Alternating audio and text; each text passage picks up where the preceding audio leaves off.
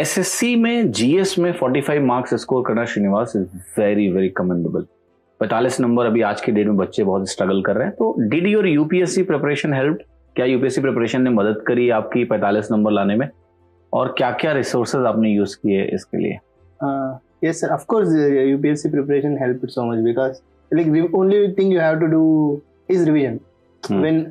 आपने सब कुछ पढ़ लिया बहुत सालों से एग्ज़ाम के आ- आगे रिवीजन करना is necessary so that way it is helpful but to an extent it is very different what GS in SSC and what GS in UPSC UPSC analytical है यहाँ थोड़ा थोड़ा फैक्चुअल है।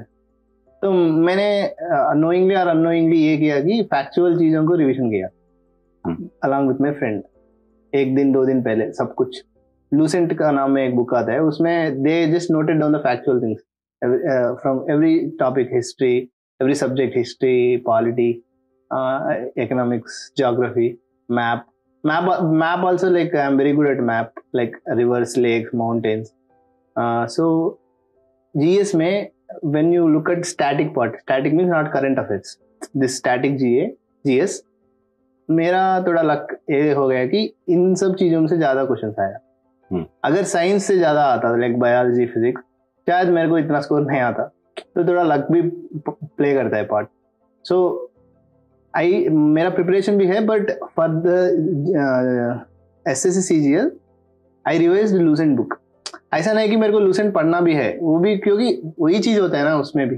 They just noted the points simply simply so, i revised the points from gs book, but what i came to know after uh, during the course of last one year after my exam there are several uh, good channels who are putting up the notes like topic wise notes.